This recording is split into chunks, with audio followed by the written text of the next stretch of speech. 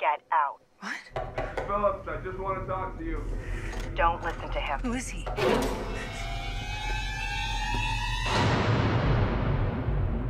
Everything your husband and I had been doing, researching and dreaming and building. You want to keep going without him?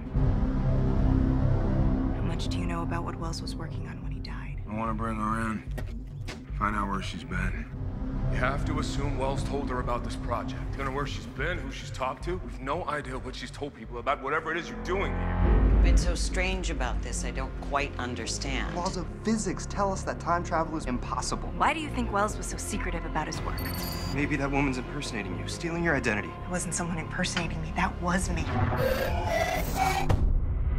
You need a doctor, someone who can explain what's happening to you. I don't think a doctor can explain what's happening to me. There is a time machine. No way. I'm gonna find her. I'm gonna figure out why I sent myself back. Tell me what this is. There's a camera hidden in the house, but that's not all. She is paranoid, delusional. I think she wants to blow something up. Want to show them how it's done? Just because you can do something doesn't mean you should. This is getting out of control.